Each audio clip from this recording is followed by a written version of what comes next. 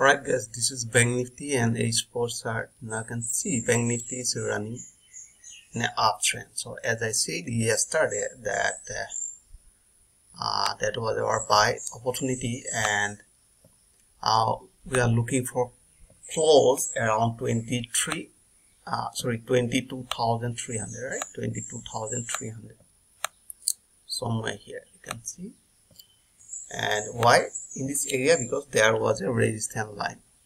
So finally today you can see price just broke this area and we are looking for buy. Just let me show you h1 chart. Now you can see this is the h1 chart.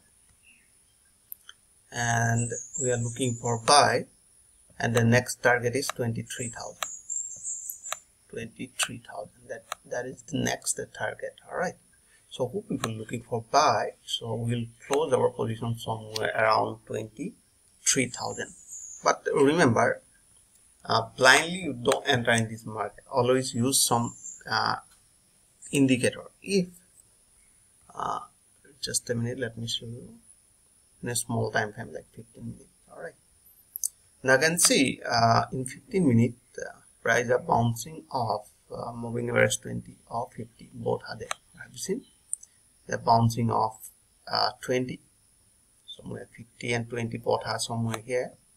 And bounce again retrace 20 and again bounce. So we must wait to retrace toward moving average 20 so that will be our entry point.